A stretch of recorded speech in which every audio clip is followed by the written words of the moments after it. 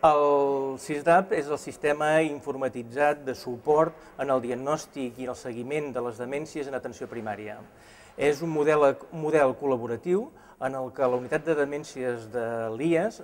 doncs, eh, facilita una comunicació fàcil i àgil amb les seves àrees bàsiques. En total, en aquests moments, donem suport a una quinzena d'àrees bàsiques, eh, 12 de l'ICS i 3 de, de l'IAS. És una eina que ens permet atenció individual, ens permet prevenció secundària ràpida, ja que utilitzem mètodes de telemedicina, asincrònica, ens permet fer el seguiment i, a més a més, ens permet també treballar factors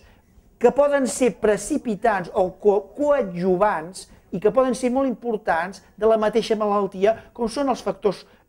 de, de tipus vascular. Primerament es fa un cribatge, que el fa infermeria, si aquest cribatge és positiu, es cita eh, novament el pacient en un dia diferent, amb el metge i l'infermera per continuar passant a la resta de tests per fer la recollida protocolitzada de,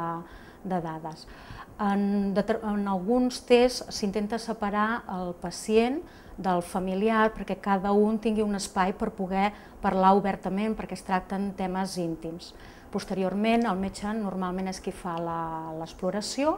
amb això ja tenim eh, totes les dades recollides i fem una valoració d'aquell pacient i decidim si cal eh, derivar-lo a unitat especialitzada. El que ens ha servit molt és per mm, tenir una interacció amb les unitats especialitzades, un feedback d'informació i a la vegada això també ens està donant formació en la matèria i eh, quan nosaltres tenim dubtes doncs, també poder tenir algun referent que ens pugui respondre ràpid.